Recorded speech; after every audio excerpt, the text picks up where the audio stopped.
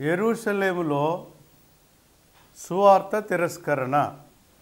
లోగడ క్లాస్లో నేను మీకు తెలియపరిచాను. ఎరుసలేములోని తిరస్కరణ రోమా స్వీకరణకు ఈ రెంటికి మధ్య పోలిక. బాధ ఏంటంటే ఎరుసలేములో యూదులు సువార్తను తిరస్కరించారని చెప్పుకున్నాం. అదే బాధ. ఎందుకు తిరస్కరించారు? మరి అక్కడికే నేను వెళతానని పౌలు మాటి మాటికి ఎందుకు అన్నాడు? మూడు మిషనరీ ప్రయాణాలలో ప్రతి మిషనరీ ప్రయాణంలో కూడా మొదట యూదులకి వెళ్ళి సువార్త ప్రకటించాడు తర్వాత అన్యులకు వెళ్ళాడే. ఏంటి ఈ ఆసక్తికి కారణం?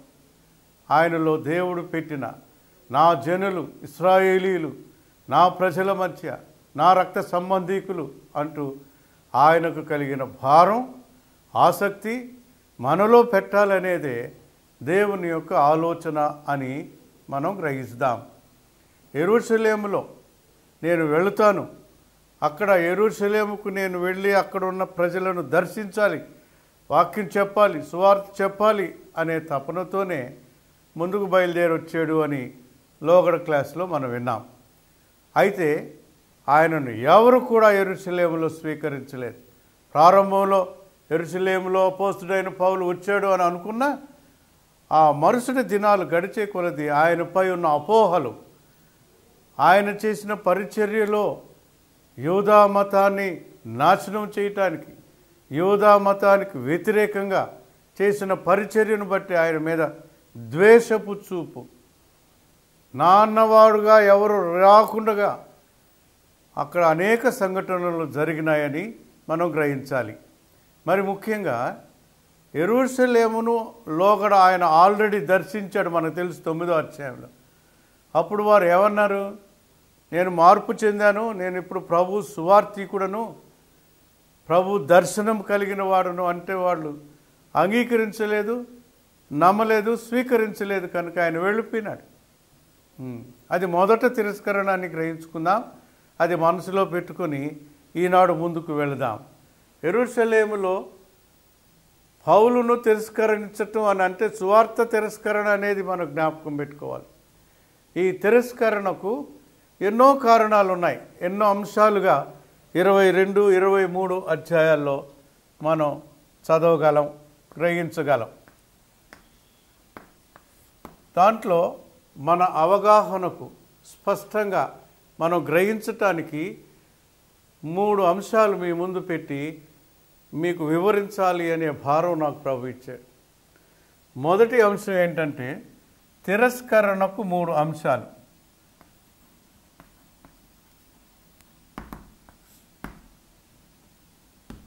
మొదటిది ఐగుప్తియుడు అనుకున్నారు. ఎవరిని? పౌలును.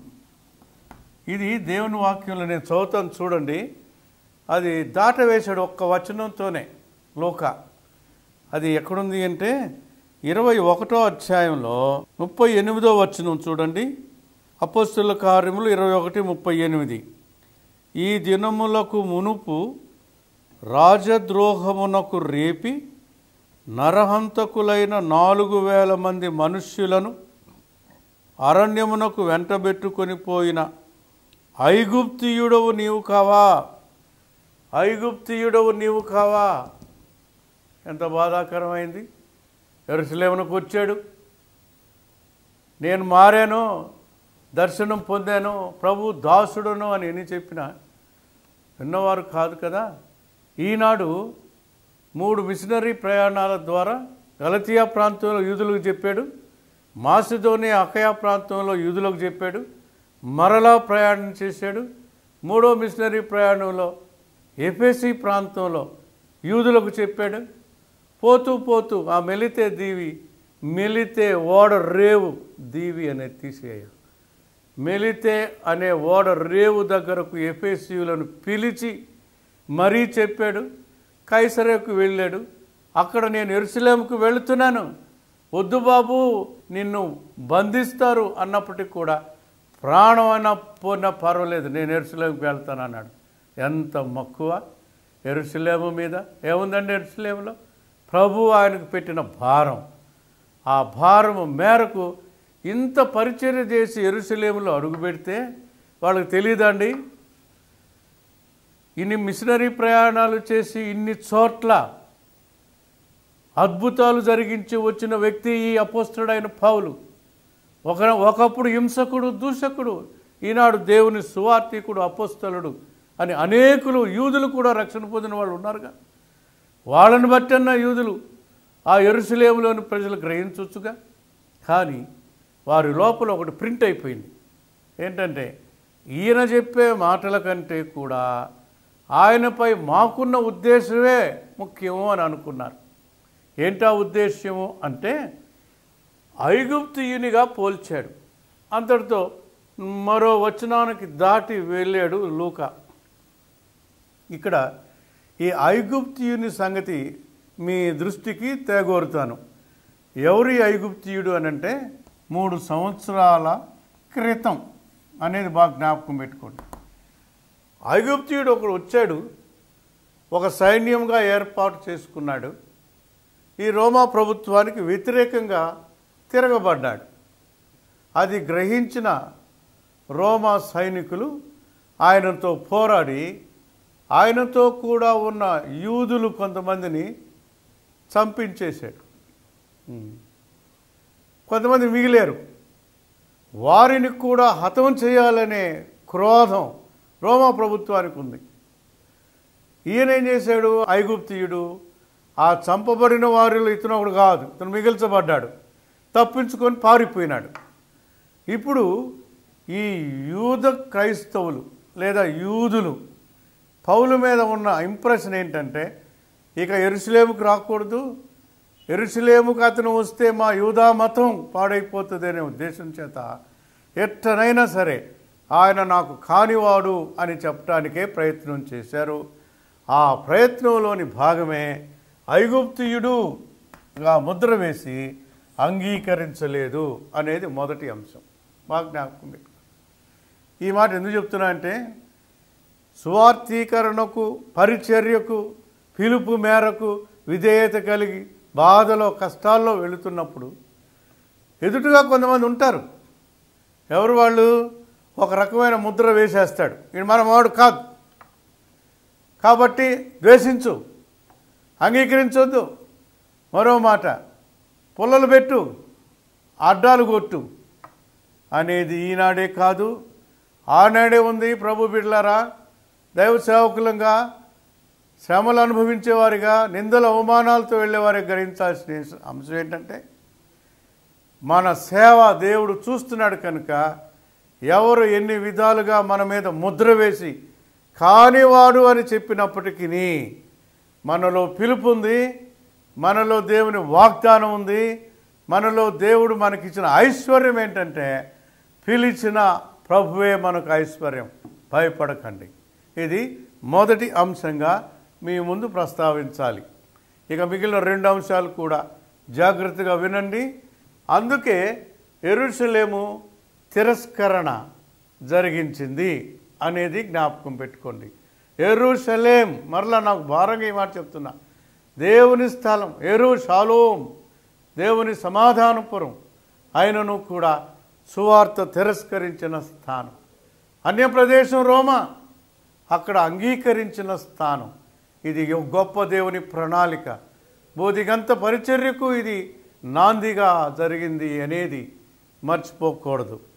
రెండవ అంశం ఏంటంటే అక్కడున్న యూదులు ఐగుప్తియుడను అని ముందు ముద్ర వేశారే? అలాగే మరొక ఇంప్రెషన్ వారికి ఉంది అపోస్తలుడైన పౌలు మీద. ఏంటి ఆ ఇంప్రెషన్ అంటే వచ్చావు. పౌలా రావటం మంచిదే. ఎరుసలేములో సంఘం ఉందిగా. అక్కడ యాకోబు లాంటి పెద్దలు ఉన్నారుగా. కొందరికి సంతోషమే కలిగించింది కాదని చెప్పటంలే. కానీ వారే కాదు ఎరుసలేమంతా ఏమనుకుంటున్నారు యూదులు? నీవు మోసే ధర్మశాస్త్రమును విడిచిపెట్టాలని బోధిస్తున్నావంట. ఆ ఇంప్రెషన్ కలిగిపోయింది. ఏమన్నా చెప్పాడండి? మోసే ధర్మశాస్త్రం విడిచిపెట్టండి అని మోసే చెప్పాడా? ఇక్కడ బాగా జ్ఞాపకం పెట్టుకోండి. యూదులు వర్సెస్ పౌలు బోధ అని చెప్తే బాగుంటుందండి. పౌలు బోధ ఏమని చెప్పాడు? ఏసే క్రీస్తు అని చెప్పాడు. యూదులకు ఎక్కడికి వెళ్ళినా. యూదులు ఉన్న సమాజ మందిరములో ఏ సమాజ మందిరములోనికి వెళ్ళినా. పిసిడియాలోని అంత్యోకైలోనైనా. మాసిదోనియాలో ఉండే తెస్సలోనికాలోనైనా కిందకు వస్తే బేరయాలోనైనా అకయాలో ఉండే కొరింతీలోనైనా మిడిల్ ఈస్ట్లో ఉండే ఏపీసీలోనైనా కూడా ఆయన మాటే యూదులను ఉద్దేశించి చెప్పినది ఏంటి అని అంటే ఏసే క్రీస్తు ఎసయా అన్నాడే తప్ప మోసే ధర్మశాస్త్రం విడిచిపెట్టండి నేను ఏనాడు అనలేదు. పైపెచ్చు పేతురు దర్శనం వలన సంఘానికి కలిగిన కనువిప్పు ఏంటంటే రక్షణ కేవలం యూదులకే కాదు అన్యులకు కూడాను అనే సందర్భంలో కొర్నేలి ఇంటికి అపోజిడ్ అయిన పేతురు రాగా పేతురు బోధ చేయగా పేతురు ప్రార్థన చేయగా అన్యుల మీదకి పరిశుద్ధాత్మ దేవుడు దిగి వచ్చాడు అప్పుడు కలవరం రేగింది. పేతురు కూడా ఈ మాటే చెప్తున్నాడు అన్యులకు రక్షణ ఉంది ఇక మీదట ప్రభువుని నమ్మితే సున్నతి అక్కర్లేదని బోధిస్తున్నాడు అనే గోల అనే ఒక రకమైన తిరుగుబాటు తత్వం కలవరం సంఘాల్లో కలగటం వల్ల పదిహేనో అధ్యాయంలో మహాసభ ఏర్పాటై ఆ సభలో పేతురు తన దర్శనాన్ని వివరించడం ద్వారా పెద్దలుగాను అందుట్లో ముఖ్యుడు అయిన యాకోబు ద్వారా పత్రిక రాసి సంఘాలన్నిటికీ పంపించారుగా. ఏమని పంపించారు? అయ్యా మీ మీద ఒత్తిడి తేవటం మాకు ఇష్టం లేదు. ఇది ధర్మశాస్త్రానుకూలముగా. ధర్మశాస్త్రంలో బోధకు వ్యతిరేకం కాదు. గొంతు పిసికిన దానిని లేదా చంపిన దాన్ని తినటం విగ్రహార్పితం తినటం లేదా జారత్వం చేయటం అనే మాటలు మాత్రం మేము నొక్కి ఒక్కానిస్తున్నాం అవి కూడనివి. వదిలిపెట్టండి అని చెప్పారు తప్ప మోసే ధర్మశాస్త్ర విషయంలో ఏ మాత్రము వాళ్ళు వేలు పెట్టలేదనే చెప్పొచ్చండి. కానీ యూదులు ఏమని దాన్ని మళ్ళించారు అంటే ధర్మశాస్త్రానికి వ్యతిరేకంగా పోరాడుతున్నాడు. మోసేని కాదంటున్నాడు అని ఈ మాదిరిగా తప్పుడు తత్వానికి పౌలు బోధను మార్చినారు. ఇలారా చెడజీయటానికి చాలా మార్గాలు ఉన్నాయండి స్ట్రైట్ ఫార్వర్డ్గా వచ్చి బ్రదర్ నువ్వు చేసే బోధ బాగాలేదు బ్రదర్. ఇది వాక్యానుసారం కాదని చెప్పండి. తప్ప వేరే వేరే సందర్భాల్లో పరిస్థితులలో రక్త సంబంధికుల మధ్య కాని తత్వాన్ని బోధించకండి బోధించకండి చెడు చెప్పకండి చెడు చేయకండి. నేను మనవి చేసి చెప్తున్నా. అదే రెండవ అంశంగా మనం నేర్చుకోవాల్సింది. సరే ఇక ముందుకు దాటి వెళ్దాం. అక్కడ ఉన్న యాకోబు పెద్దలు ఏం చేశారంటే అయ్యా నీవు యూదుల ఆచారానికి వ్యతిరేకుడవు అనే ముద్ర పడిపోయింది. కాబట్టి నువ్వు ఒక పని చెయ్యి అని వాళ్ళకు ఒక మంచి సలహా ఇచ్చినారు. ఏమి సలహా ఇచ్చాడు అని అంటే ఇరవై ఒకటవ అధ్యాయంలోనే ఇరవై మూడవ వచనం నుంచి మీరు గమనించండి. ఒక పని చేయాలి. ఏంటి అని అంటే మొక్కుబడి చేసుకో. మొక్కుబడి. ఈ మాట బాగా జ్ఞాపకం పెట్టుకోండి. దీనికి సరిదిద్దటానికి గాను రెమెడీ అంటే మాన్పేదానికి ఈ మచ్చ మానటానికి ఏమన్నారు? మృక్కుబడి. అనే అంశాన్ని ప్రస్తావించి ఈ మృక్కుబడి అనే విషయాన్ని మీ దృష్టికి వివరంగా చెప్పగోరుతాను. ఎందుకంటే చాలా రకాలైన అనుమానాస్పద తలంపులు ఉన్నాయి. పోనీలో మనకి ఎందుకంటే దాటిపోతున్నారు. అనగాదు కాదు మృక్కుబడి అనేది చాలా ప్రధానమైన అంశం. ఇది పాత నిబంధనలో సంఖ్యాకాండంలో మనం గమనించినట్లయితే ఆరో అధ్యాయం మొదటి ఇరవై ఒక్క వచనాల్లో తేటగా వ్రాయబడి ఉంది. మురుక్కుబడి అంటే ఎవరైనా దేవునికి నజీరు చేయబడితే ప్రత్యేకపరుచుకుంటే వాడు ఈ రీతిగా జీవించాలి మసులుకోవాలి వెంట్రుకలు కత్తిరించుకోకూడదు మద్యాన్ని ముట్టకూడదు చచ్చిన దాన్ని తాకకూడదు. షరతులు చాలా ఉన్నాయి పెట్టారు. ఒకవేళ వీటిలో ఏదైనా జారిపోయి తప్పు చేసి అపరాధి అయ్యాడు అనుకోండి వాళ్ళు ఏం చేయాలి? ఆ మొక్కుబడి చెల్లించుకుంటే మరలా ఆ వ్రతంలోకి వస్తారు.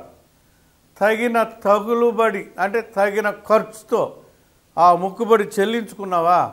మరలా నీవు పరిశుద్ధాచారం వ్రతంలోకి తేబడతావు అని ఆ మొక్కుబడికి కావలసిన వస్తువులు పద్ధతులు వ్రాసి పెట్టారు సంఖ్యాకాండంలో. ఉదాహరణకి నజీరు చేయబడిన వ్యక్తి చచ్చిన శవాన్ని ముట్టాడు అనుకోండి అదొక అపరాధం.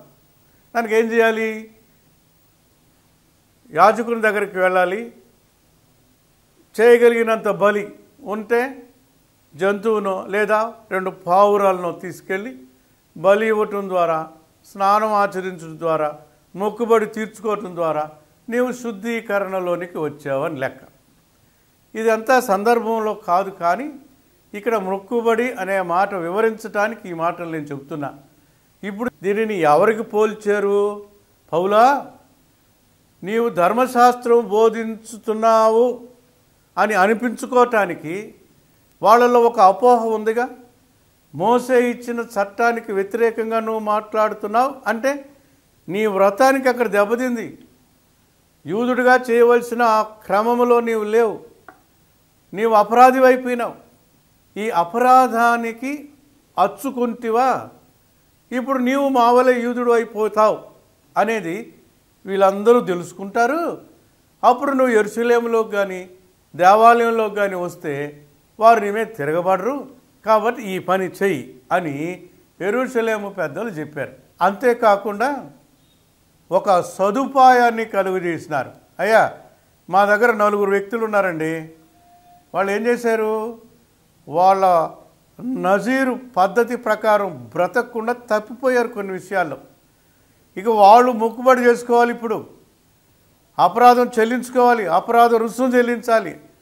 కాబట్టి వాళ్ళు ఎట్టా ఉన్నారు కనుక అందరికీ తెలుసు ఈ యూదులకి. వాళ్ళని తీసుకొని పో వెంట్రుకలు కత్తిరించుకో ఆ తర్వాత మొక్కుబడి చెల్లించుకో. వాళ్ళు అపరాధులే వాళ్ళతో కూడా నువ్వు నిరపరాధిని నిరూపించుకో అని అన్నారు. సమస్య ఏంటంటే వాళ్ళు అపరాధులు.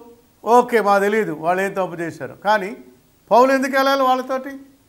ఈయన అపరాధే అనే ప్రశ్న మనకు వస్తుంది. ఏంటి ఈ ప్రశ్నకు సమాధానం?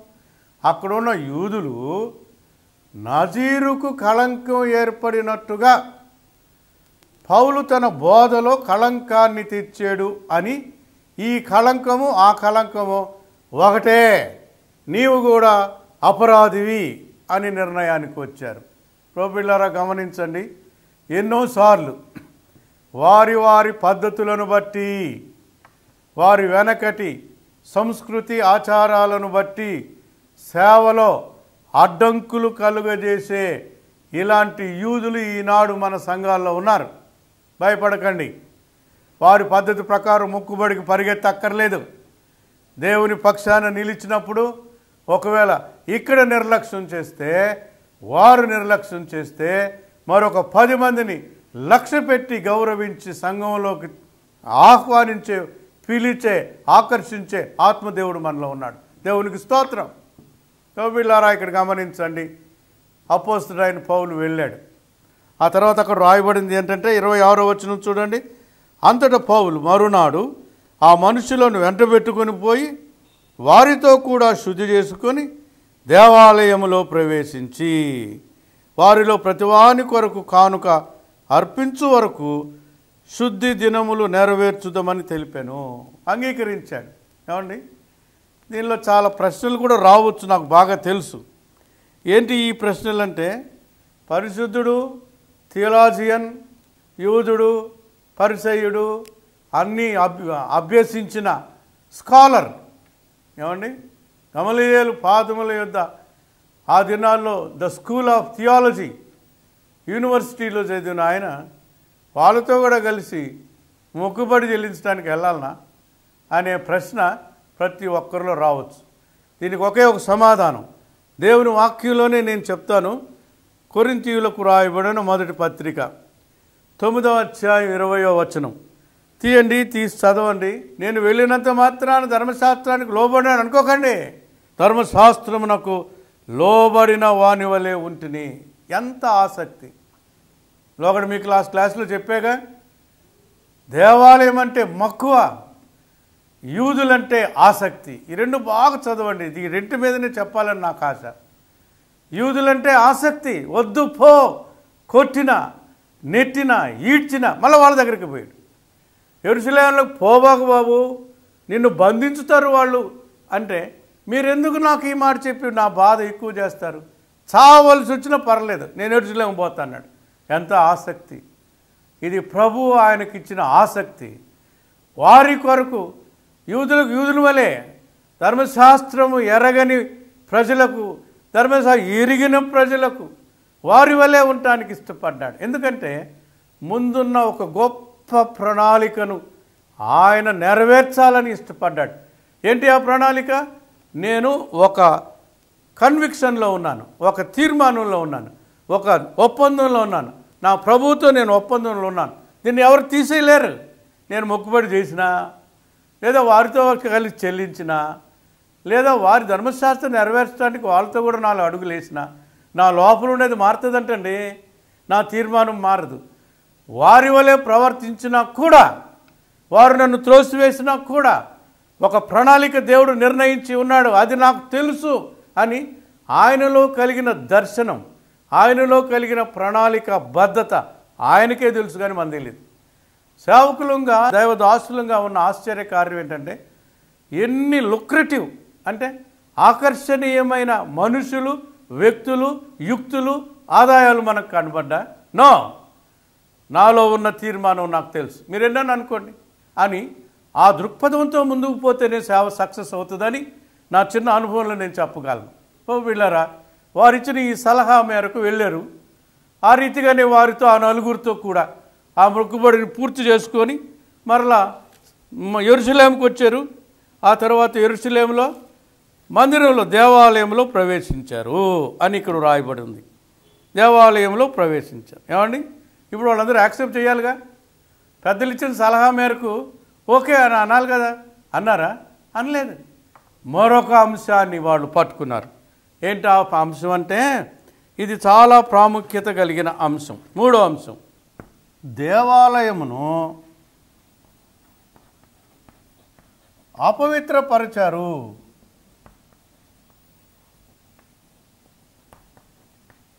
అపవిత్రపరచాడు అనే ఒక నెపం పౌలు మీద వాళ్ళు మోపినట్లుగా మనకు తెలుసు. దానికి ఎట్లంటే త్రోఫీము త్రోఫీము. ఎవరైనా ఎఫేసియుడు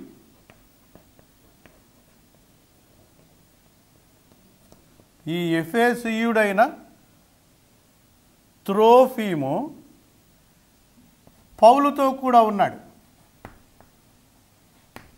పౌలుతో కూడా ఉన్నారు. ఈ త్రోపిము పౌలుతో కూడా ఉన్నాడు అనేది యూదులు చూచారు. వాళ్ళు ఏమనుకున్నారంటే ఈయన దేవాలయంలోకి వెళ్ళాడుగా. ఈ త్రోఫీమును కూడా వెంటబెట్టుకొని లోపలికి వెళ్ళాడు. కాబట్టి దేవాలయాన్ని అపవిత్రపరచినాడు. ఇరవై ఒకటో అధ్యాయం ఇరవై ఏడు నుంచి కొన్ని మాటలు నేను చదువుతాను. అది గమనించండి. ఏడు దినములు కావచ్చినప్పుడు ఆసియా నుండి వచ్చిన యూదులు దేవాలయంలో అతనిని చూచి సమూహం అంతటిని కలవరపరిచి అతనిని బలవంతముగా పట్టుకొని ఇస్రాయేలీయులారా సహాయం చేయండి. ప్రజలకును ధర్మశాస్త్రమునకును ఈ స్థలమునకును విరోధముగా అందరికీ అంతటను బోధించువాడు వీడే. దేవాలయంలో అన్నమాట అండి. దేవాలయంలో అన్నమాట గ్రీసు దేశస్థులను దేవాలయంలోనికి తీసుకుని వచ్చి ఉన్నాడు. ఈ పరిశుద్ధ స్థలమును అపవిత్రపరిచి ఉన్నాడని కేకలు వేసిరి. ఎలయనగా ఎఫేసియుడైన త్రోఫీమును అతనితో కూడా పట్టణంలో అంతకుముందు వారు చూచి ఉన్నందున పౌలు దేవాలయములోనికి అతన్ని తీసుకొని వచ్చనని ఊహించిరి. బయట తిరుగుతున్నాడు త్రోఫీముతో దేవాలయంలో కూడా వచ్చున్నాడు ఈ త్రోఫీము. అంటే ఇతడు యూదుడు కాదు. అన్యుని తీసుకుని దేవాలయంలోకి వస్తావా? అని త్రోఫీమును బట్టి అన్యుడు దేవాలయంలో ప్రవేశించడం బట్టి అపవిత్రపరిచినాడు. బైబిల్లో ఉండే చరిత్రను అటు ఇటుగా మార్చి మతాలుగా పెట్టుకున్నారు తప్ప నిన్న మొన్నటి దేవుడు కాదీనా దేవాతి దేవుడు. ఏలోహేం ఉన్నవాడు అనువాడు ఆద్యంతరహితుడు.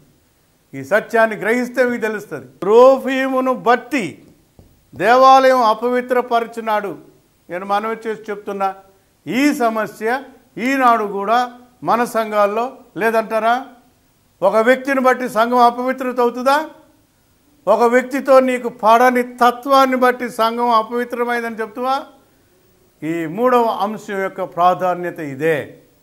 ఈ అంశాలు వాళ్ళ మనసులో పెట్టుకొని ఎరుసలేములోనికి రానియకుండా ఎరుసలేములోకి వచ్చినా ఆ ఎరుసలేము దేవాలయంలోనికి రానియకుండా దేవాలయంలో ఆయనతో కూడా కలిసి ఉండకుండా కేటాగా అనేక అంశాలను పెట్టాను. నేను మూడే చెప్పా. ఈ మూడు అంశాలు మరలా జ్ఞాపం పెట్టుకోండి. మావాడు కాదు ఐగుప్తియుడు.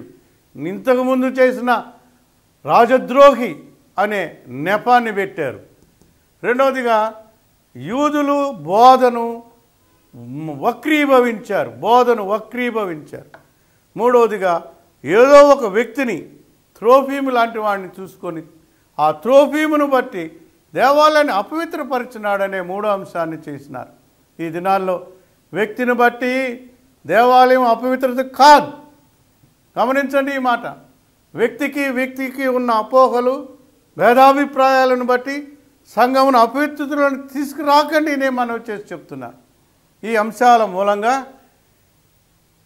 ఎరుసలేములో దేవాలయంలో పౌలు ప్రవేశించకుండునట్లుగా వారు అడ్డుపడ్డారని మనం గ్రహించగలం.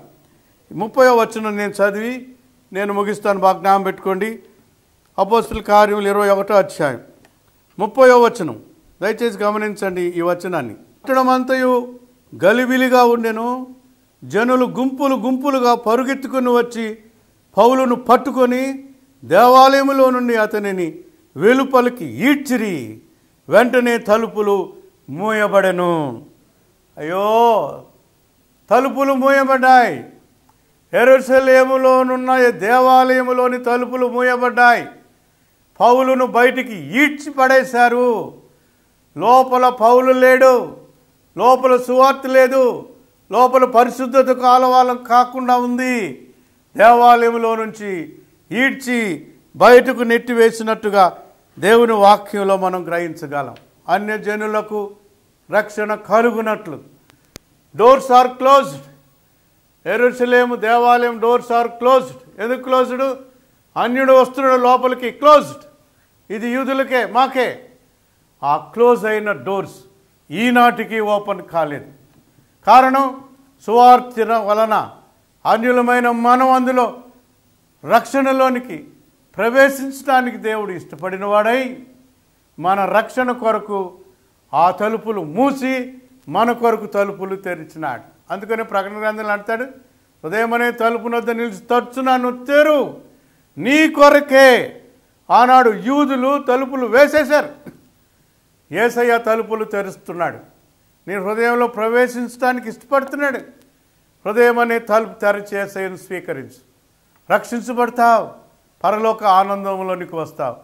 ఒకనాడు తలుపు వేయబడుతుంది. మనకు కూడా తలుపు మూయబడుతుంది. ఆ బుద్ధి లేని కన్నికలు వచ్చి అయ్యా అయ్యా అయ్యా అని తలుపు తట్టారు. పెళ్ళి కుమారుడు వచ్చేసాడు. ఇక మరలా తలుపు తెరవబడదు.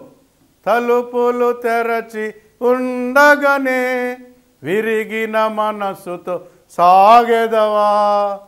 కాలమపాయము గానుండే సమయము సద్వినియోగించు. ప్రభు త్వరగా రానేనాడు నీ కొరకు తలుపులు తెరిచిన్నాడు ఇసయ్య రక్షణ పొందమని ప్రాధేయపడుతూ మనవి చేస్తూ ముగించుతున్నాను ప్రభుని ఏసునందు విశ్వాసం ఉంచుము. అప్పుడు మీరు మీ ఇంటి వారు కూడా రక్షణ పొందుదురు. దేవుని వాక్యం సెలవిస్తుంది. ప్రభు అయిన ఏసయ్య నీకటి కృపను అనుగ్రహించునుగాక. ఘనమైన తండ్రి నీ పాదములకు స్తోత్రములు. ప్రభా ఎరుసలేము తలుపులు మూయబడ్డాయి.